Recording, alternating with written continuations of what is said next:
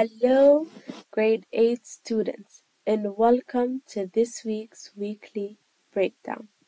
So, in the past weeks, we've been talking about the theory of evolution. We discussed scientists that contributed to the theory of evolution and specifically talked about Charles Darwin, which is the father of evolution. We went on the journey that he went through to describe or to explain the theory of evolution or the process of evolution, we saw that he talked about the natural selection, artificial selection, and what are the factors that contributed to the evolution, such as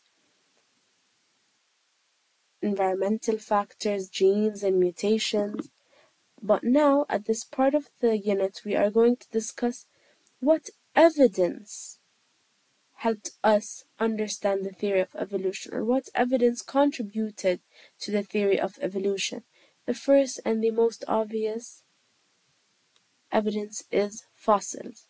So we are going to know what are fossils, how did fossils contribute to the theory of evolution. We're going to know what are fossil records. We're going to understand where do we find these records and how scientists went through the records to know more about the evolution of species.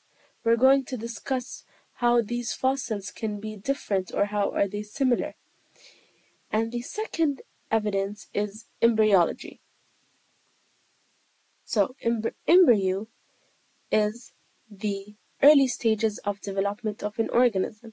Scientists viewed that embryos of many organisms resemble each other. So we are going to discuss some of the fossilized eggs that were found by scientists that helped them learn more about the development of species from a long time ago. Moving on to how these organisms are related to other forms, such as mammals, fish, humans, gills, slits, tail, we're going to understand more about the embryological evidence. Moving on to the third evidence, which is comparative anatomy. We're going to view some of the parts or similar structures that are called homologous, such as limbs or pattern of bones that they have similar structure, but they are used for different function. We're going to discuss more about the anatomy of these structures.